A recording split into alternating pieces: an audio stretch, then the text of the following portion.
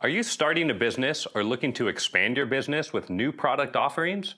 In order to get your design onto a tri-blend t-shirt, we'll show you what you need and how to do it with Epson direct-to-garment print technology. In order to print onto a tri-blend t-shirt, here's what you need. Pre-treatment liquid, a heat tunnel, an automated pre-treat machine, a heat press, some parchment paper, a DTG printer, and a blank tri-blend t-shirt. So the first thing we want to do is take our tri-blend shirt over to our heat press. Sleeve it on the platen.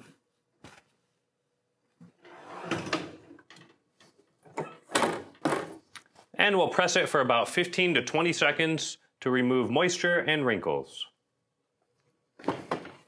Once the pressing is complete, Remove your garment and take it over to your automated pre-treat machine. We'll load it onto the platen and be sure to tuck in the sleeves and any excess fabric underneath.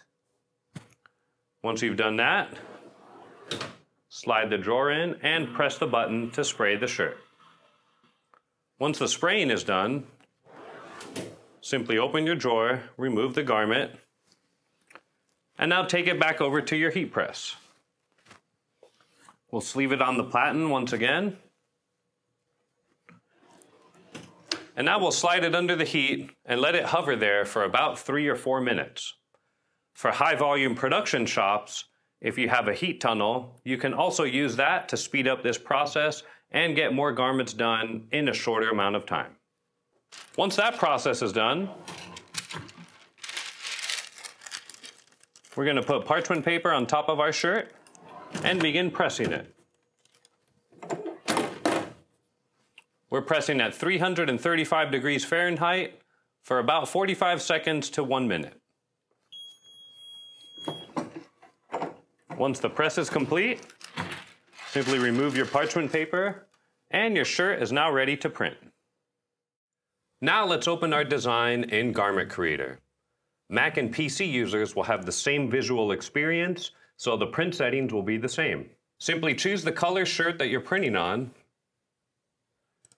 choose your print quality, and click print to send the design over to the printer. So now we're ready to load our tri-blend shirt onto the platen of the printer. We'll sleeve it on the platen.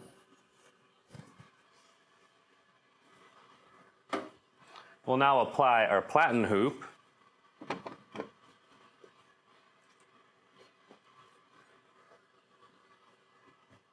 And we can click the print button to begin the print. Once the print is done, remove the platen hoop. Now we're ready to remove our shirt and take it over to the heat press. We'll sleeve it on the heat press. And then we'll place a piece of parchment paper on top of that. And we'll begin pressing the shirt. For a tri-blend shirt, we are at 335 degrees Fahrenheit for about 75 seconds. For high volume production users, you can also complete this step using a conveyor heat tunnel. When the press is done, simply remove the parchment paper and your shirt is done.